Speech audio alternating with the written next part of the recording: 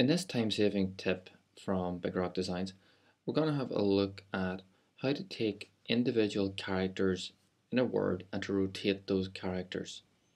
Recently we were doing a piece of artwork where we had to take a letter, the first letter, and rotate it at a certain angle. It involved cutting the letter out, putting it into a separate text box, and quite a lot of messing around.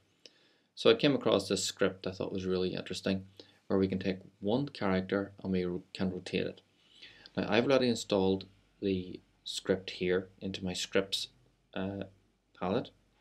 Now to apply it, I select the letter, double click on the rotate selected character script, and here we enter in the value that we want to go for. I'm going to type in a minus 15.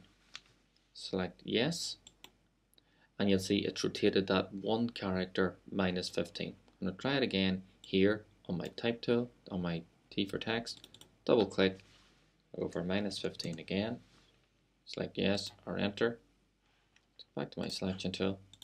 I think it's a really handy feature. And then we can use kerning in order to then pull the space between the letters closer together.